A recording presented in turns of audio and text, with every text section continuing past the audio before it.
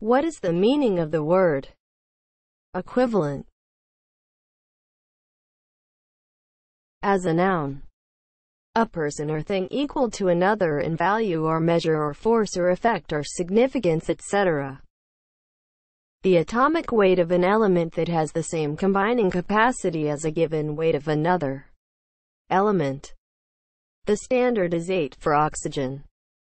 Examples of use Send $2 or the equivalent in stamps.